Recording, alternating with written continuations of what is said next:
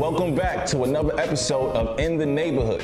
But this episode is going to be a little bit different from my previous episodes as I'm going to be talking about all these beautiful Polaroid cameras that you see here on your screen. I'm going to be going over the differences between Polaroid 600, Polaroid SX70, the different types of Polaroid film, and why these cameras are so special and unique in particular. I also got a package that I'm gonna be unboxing right here live in the neighborhood. I got the homie Warpy, Mini Warpy, and bear with me. Shout out to Euphoric Supply. You can check out one of my previous unboxing episodes to get more information on Euphoric Supply and why these pieces are so special to me. And I am also a proud owner of a Euphoric Supply NFT. Euphoric Supply is doing a lot of big things in the NFT space. You can also check out my NFT collection, but we're gonna talk more about NFTs on another episode. So sit back, relax, get your popcorn, another episode of In the Neighborhood. Back, back. What up, y'all? What up, y'all? What up, y'all? What up, y'all?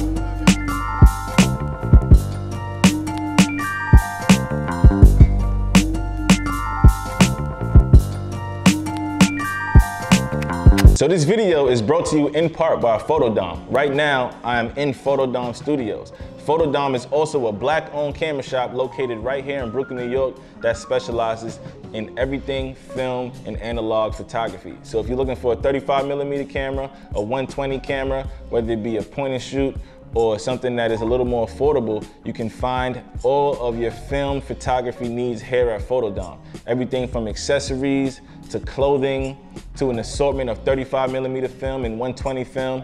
You can find all of that right here at Photodom, located at 1717 Broadway in Brooklyn, New York. You can pick up some rolling papers, pick up a grinder, you know. I also got this camera strap from Photodom. You can also find some Polaroid film. If you ever need to shoot some Polaroids, come find some Polaroid film here at Photodom. Photodom also does film processing for all formats of film, including 35 millimeter color, black and white, 120 color, black and white, 110 film, as well as providing prints. Photodom also carries one of my exclusive skateboards that actually features some of my Polaroid photography on the skateboard exclusively at Photodom. Eventually, I'm gonna put those on the website as well, and we're gonna talk more about everything that I got coming up with In the Neighborhood and things that you'll be able to find on intheneighborhood.shop. So I've been shooting Polaroids now for about 10 years. A lot of people know me for my Polaroid photography, my portraits of people on Polaroid film. And these are some of the cameras that I use to capture some of those portraits. I've been using Polaroid 600 film, which is a lot different from SX70. I'm gonna go over the differences and explain the differences between the two films. I've been using primarily my SX70 camera, which Gary has converted to shoot 600 film. And I tell you why that is so special in particular and why I choose to have my camera converted to shoot 600 film. So the reason I love Polaroid photography in particular is because when I was first in the market for my own camera, I wanted something a little more tangible than a digital camera. Uh, with digital photography, you know, you can get very, very good, perfect, crispy images, but I wanted something a little more nostalgic, something that I could just pretty much be on the go, on the run with. So I decided to look for a Polaroid camera. In the beginning of my photography journey, I was actually borrowing a friend's digital camera. And at the time, I was borrowing it and using it way more than he was using it, but it just got to the point where I needed to find my own camera and I needed to purchase something for myself. At the time, especially being that digital cameras were so expensive, I was definitely looking for something on the less expensive end and also something that just felt a little more tangible. I was thinking about getting a 35 millimeter camera, but I didn't really know where to start there as I didn't really know that much about photography, especially film photography at the time in 2012. So I actually just went on eBay and I was searching Polaroid cameras and I came across a $25 Polaroid camera that I actually purchased and started using right away. And uh, and that's how I started my film photography journey back in 2012. When I discovered that Polaroid wasn't making any more film, I thought it would be a waste of time, but then I actually discovered Impossible Film. Impossible Film was around in 2012, and I would go to the Impossible store in Soho and buy film pretty much like every week. So that's how I started my Polaroid journey. A fun fact, my first gallery exhibition ever was at the Impossible Project space back in 2012, 2013. That was actually one of the biggest moments in my life, one of the first times I was able to exhibit photography at a gallery. So Shout out to the Impossible team from 2012, 2013. That was the best team I ever worked with to this day. So these Polaroid cameras are so special in particular because they are custom made Polaroid cameras. They're custom made by a longtime collaborator Gary Greco from the West Coast, you won't be able to find these unique cameras anywhere other than Upcycle Classic. So Gary and I have been collaborating for a number of years now, particularly on custom Polaroid cameras. And he's just been a great supporter of everything that I've been doing. These are not your everyday average Polaroid cameras. So let's just talk about some of these cameras that we have now and the differences between them. So these four are Polaroid 600 cameras. The main difference between the Polaroid 600 and the SX70 is that the Polaroid 600 actually has a plastic lens. So in the right settings with the right light, you can definitely get a great Polaroid portrait with the 600 as opposed to the SX70 camera that's actually made with a glass lens. Being that this Polaroid camera is a glass lens, you can get a lot sharper images and you can, um, you know, just have more fun with this camera in particular. You have the ability to zoom in and out, and you also can slightly change the aperture on this camera. I love the SX70, and this camera in particular is the SX70 Sonar. To keep it plain and simple, it's pretty much an autofocus. With this sonar technology that Edwin Land created when he developed the first SX70 camera, well, the first SX70 sonar camera because there are two different types of SX70 cameras. One comes with the sonar that allows you to pretty much autofocus, and another camera was made with no sonar that you have to manually focus on your own. This camera also has a feature where you can turn off the sonar feature and you can actually manual focus and get that crispy, crispy photo that you are looking to get. But I like this camera in particular because a lot of my photography is on the go. A lot of my photography is sometimes at night in dark areas. So the sonar allows me to get that quick, sharp photo without having to manually focus. So for the Polaroid 600 cameras, you will definitely need to go with the Polaroid 600 film, which actually has an ISO of 640, as opposed to SX70 film that actually has an ISO of 160. Now, the difference between the ISOs is the film speed. Film speed helps you get a darker or brighter photo, pretty much in simple terms, you know? If you do want to check out more about the Polaroid camera and its features and its origin stories, you can also check out the episode that I did with world-renowned YouTuber Marques Brownlee. We actually did an episode on Polaroid where we went around the Lower East Side and we shot some Polaroids with the SX70 camera and we compared them at the end to see the differences between styles and the differences between the cameras that we were using at the time. So head over to Marques Brownlee's YouTube channel to check out that Polaroid episode. But back to the cameras. So what makes this camera so special in particular also is that Gary actually converted this to shoot 600 film. I like to shoot faster ISO speed just because I feel like it gets more color when I shoot with the 600 film in the SX70 camera. I want the same sharpness that I could get while using the SX70 camera, but I also want the faster speed with the 600 film. Now, if you did have SX70 film for your SX70 camera and you wanted to shoot it at a 600 speed, you can actually use an ND filter.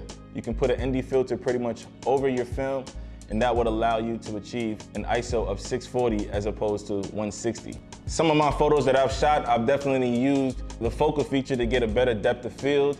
This has a, a focal length that goes from infinity to really, really, really close up on your subject. Some photos to really get the look that I'm trying to get, I need to be able to focus in and out. And that's why I love using the SX70 camera as opposed to the 600 camera. The SX70 camera, you can get really, really, really close on the subject or something in the photo to actually make it way sharper. So that's pretty much the main differences between the SX70 camera and the 600 camera. This has a aperture of f8 and uh, if you look here, you can actually adjust the aperture settings slightly just by one stop at a time. And it's, you know, it's not exact, but it allows you to pretty much get more light into your camera. The aperture pretty much allows you to get more or less light into your camera to achieve the shot that you want to shoot. I like to shoot really bright photos. I like really colorful photos. So sometimes I might go a little bit to the white on the SX70 camera. You can also do that on the 600 camera, but like I said, the SX70 camera is just a little more powerful when it comes to its capabilities. So another reason why these cameras are so special in particular is because these are custom made cameras. These are not your average ordinary Polaroid cameras. These are unique because they are custom made by Gary of Upcycle Classic. So he runs a brand called Upcycle Classic and he specializes in custom Polaroid cameras. He's also a Polaroid photographer himself. And as an artist and as a photographer, sometimes we want to express ourselves just a little bit more. So like with this camera in particular, when we communicated about making this camera, I actually wanted to model this camera after the vintage Apple logo. So this has a blue body, as you can see, fully blue, and it has a, a green upper with a dash of yellow with the shoot film actually engraved into the Polaroid, as well as the red, the orange, and the blue. So if you check out the vintage Apple logo, you'll see that this camera was pretty much modeled after the Apple logo. This camera in particular, I was working on some apparel at the time and I was going with the orange and white colorway. So I wanted him to customize this camera to pretty much match the apparel that I was making at the time. So as you can see, this has a white body with some orange accents, also with a hint of silver in the body of the camera. I love this camera. I love all these cameras. These cameras are all unique in particular. You're not gonna find these cameras on Polaroid.com or anything like that. The one place that you can go to for these cameras is Upcycle Classic. Shout out to Gary. So this camera is also special in particular because my wife actually had an idea to create a say cheese camera. So you know, classic saying when you're about to take a picture, the photographer says, say cheese. So this is actually modeled after a block of cheese, as you can see. So when you open it up, Gary actually custom made this to say, say cheese right here on the camera itself. And uh, with, a, with, a, with a block of cheese, if you can see that. And Gary pretty much made my wife's idea come to fruition with this Say Cheese Polaroid camera. Looks like a block of cheese, you know, say cheese. we don't got no film in this one right now. So this camera is also special in particular because this was actually a two-way collaboration. So I contacted the Smiley Company, which is actually a company based in the UK, and they are actually the owners of the trademark, the smiley face. So I contacted the Smiley Company because I wanted to do a Polaroid camera giveaway for one special person. Now this camera is actually not the camera we gave away. The camera that we gave away looks a little bit differently, but this is basically the sample that Gary sent to me as an idea of what we were gonna create eventually. As you can see, it has everything custom made with the smiley face. The classic yellow, the smile on when you get ready to take that picture, you know, you gotta turn that smile on, you know what I'm saying? Smiley face, and also this is actually the brand's trademarked logo, Smiley. So this camera is a one of one, of course. This is not for sale. This is just a sample that we created in collaboration with Gary, also in collaboration with the Smiley Company. So there actually is one lucky person who has the other Smiley camera that was the final version of what this was created to be. But I love this camera in particular, and just shout out to Gary for always being able to pretty much make the cameras come to fruition with the ideas that I give to him. He's been an amazing collaborator, an amazing supporter of everything that I've been doing. He uh, is also, like I said, a photographer himself, so he understands the aspect of wanting to just get a little more colorful with your cameras and being able to just express yourself through photography more than just a photo. This SX70 camera is actually also custom made by Gary, and he custom made this to make a yellow Polaroid camera. It's not every day that you see a bright yellow Polaroid SX70. So shout out to Gary for making this happen. You know, when you close it up, it looks just like that. The yellow with the silver, you know? The yellow with the silver is special. I love the silver SX70 in particular. It just has that nostalgic feel. And uh, yeah, man, shout out to Gary for making this vision come to life. I told him I wanted something different, something bright, something unique, and he delivered with this bright yellow SX70 camera that is converted to shoot 600 film. So right now, we're gonna do the unboxing. Shout out to Gary for sending me a brand new camera. I have no idea what's in here.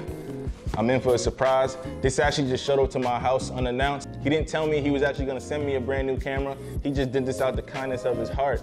And shout out to Gary for just being an amazing supporter of everything that I've been doing, a supporter of Polaroid photography, a supporter of the arts, and a supporter of just me moving forward and progressing as I take on this journey in the neighborhood, you know? So right now, we're just gonna open this up right here, see what we got. I'm excited to see what we do have. Because like I said, this was very unexpected. I had no idea he was gonna send me this camera. So the special thing about these cameras too is that they're collector's items. Although these cameras pretty much all do the same thing, it's just something unique about having multiple cameras as collector's item, kind of like art pieces in your house. The same way I have the Warpy as an art piece in my house, I also collect Polaroid cameras to have as art pieces in my house. So these are all works of art by the big homie Gary. Uh, handwritten notes says, I hope you are doing, I hope you, I hope you're all doing good there. Something I thought you would enjoy. Take care with a smiley face. Shout out to Gary, man. Gotta love the handwritten notes too. And it looks like we got another SX70 camera. Let's see what this is. Okay, another, I love Gary, man. Another yellow SX70 camera, except the difference with this one is that this is actually with the black plating. I got another Polaroid camera to add to the collection, but this time it's with the black plating, with the yellow. And this one was, oh, we got the yellow button too. Okay. So the yellow button with the yellow cover on the black Polaroid camera. Can't go wrong with this. This is beautiful. This is beautiful. This is just another art piece that I'm gonna display in the crib, but I'm also gonna definitely put this to use, you know? This is beautiful, man. This is, this is, this is so beautiful. Shout out to Gary, man. Two SX70 cameras. Black with the yellow, yellow with the silver. Beautiful, works of art. So just to give you a quick idea on the different capabilities of the different Polaroid cameras, I'm gonna be talking about a few of my favorite images that I shot with the SX70 camera. So for example, I shot a Polaroid of the homie True, also known as Don't Watch TV, where he's holding a spray can in the lens of the camera. I wanted to give off the effect that he was kind of spraying the spray paint onto whoever's looking at the photo. And I used the SX70 camera to get a little bit more depth of field. So another Polaroid that comes to mind is a Polaroid that I shot of the homie Perry, also known as Perry On, who's a musician, where we were doing a photo shoot in the Lower East Side and he actually had a spliff. So with the spliff, I wanted to get the spliff in focus and I wanted his body and the background to be out of focus, which pretty much gives me like a good depth of field to get the spliff in focus. So I used the SX70 camera to really get close up on the spliff, and that way it created that depth of field effect where his body and the background was pretty much blurred out. And of course, I got that with the SX70. A few more Polaroids that come to mind is like a Polaroid of Jay-Z that I shot that's really, really, really sharp. And a lot of people ask me how I get sharp images. So, with like a Polaroid of Jay-Z that I shot, a Polaroid of Pharrell that I shot, those are very, very sharp images because I used the SX70 camera. And of course, in those environments, when you're around these certain types of people, you wanna get a fast shot. You don't really have time to basically manual focus and get it as crispy as you want. So the sonar helps me to get that image in focus. So with those Polaroids and a few more that I'll put up on the screen, you'll see how sharp these images are compared to other images that you may have seen shot with Polaroid cameras that may have been shot on a 600 camera that doesn't really allow you to get that super, super, super sharp image. I like sharp photos. Even though it's nostalgic and a Polaroid is not supposed to be perfect, I still want to get that sharp image on Polaroid just to create that timeless classic shot. You know what I mean? The Polaroid camera is opening doors for me. A lot of opportunities. I've been able to meet a lot of people. I've been able to shoot a lot of people. You know, the first time I was actually compensated to shoot anybody was on Polaroid, and it was actually Pharrell and Daniel Arsham. So shout out to Pharrell and Daniel Arsham for pretty much popping my cherry in the photography industry as being my first paid gig. That was back in like 2012, 2013, you know? But even fast forward to 2022, The Polaroid camera is still opening doors for me, still providing opportunities. A lot of people love my Polaroid photography, and, uh, and you know, what can I say? You know, shout out to Polaroid Photography, shout out to Edward Land. So I'm also here to announce the next giveaway for a Polaroid camera and a few packs of Polaroid film. There's only one way to enter. Make sure you head to the Discord, and when you get to the Discord, in the giveaway channel, type we here. You will automatically be entered to win the giveaway. I will be doing the giveaway at random, but the only way to enter is by joining the Discord and in the giveaway channel, just type we here. That will allow you to be entered into the pool for the giveaway. You know, you could win a Polaroid camera and some Polaroid film. Everybody needs Polaroid film, you know? And who doesn't need a brand new Polaroid camera? So make sure you head to the Discord today and enter to win in the giveaway channel. Just type we here. Just make sure you join the In the Neighborhood Discord, which is a community for everybody. You don't only have to be a photographer or an artist, you can just join the chat and just, you know, join the conversation. Welcome to the community. Just a place where you can meet new neighbors and just, you know, politic with people in the neighborhood. We have different channels where you can talk about just what's going on in your daily life. Photography channel, the giveaway channel where I announce different giveaways, talk about what you're watching today, talk about new movies on Netflix or anything like that, you know? Meet your neighbors, you know what I'm saying? Love thy neighbor. Just show love in the Discord, you know? So if you made it this far, thank you for watching another episode of In the Neighborhood. If you haven't already, check out season one of In the Neighborhood, where I went around to different neighborhoods, shot a lot of photography, met a lot of people, shot with Polaroid, 35 millimeter. And on season two, I'm gonna be using a lot more different cameras. I'm gonna be giving different camera reviews. I'm gonna be talking about the differences between the different cameras. And there's a lot more to come in season two. So make sure you subscribe to the channel for In the Neighborhood season two. You know, drop a like, drop a comment, subscribe, tell a friend to tell a friend. Follow us on Instagram, PV in the neighborhood, you know. It's all about the neighbors, man. Love thy neighbor in the neighborhood. So before I go, I just wanted to show you a few things that's coming to in the neighborhood.shop. So you may have seen the Pharrell skateboard that I dropped on my Instagram that I have not released yet. In addition to that skateboard, I will also be releasing these two skateboards which feature my Polaroid photography and artwork by yours truly. So this is the Jay-Z Polaroid that I was referring to earlier. I actually remastered it and uh, created some artwork surrounding Jay-Z, as well as this Polaroid of Swizz Beatz that I actually remastered. And I pretty much put one of his quotes on the skateboard. So coming to in the neighborhood.shop will be this Jay-Z skateboard, this Swizz Beatz skateboard, and the Pharrell to complete a trio of skateboards shot by yours truly in the neighborhood. Be on the lookout. Make sure you check out in the neighborhood.shop and join the Discord for first dibs in the neighborhood, baby.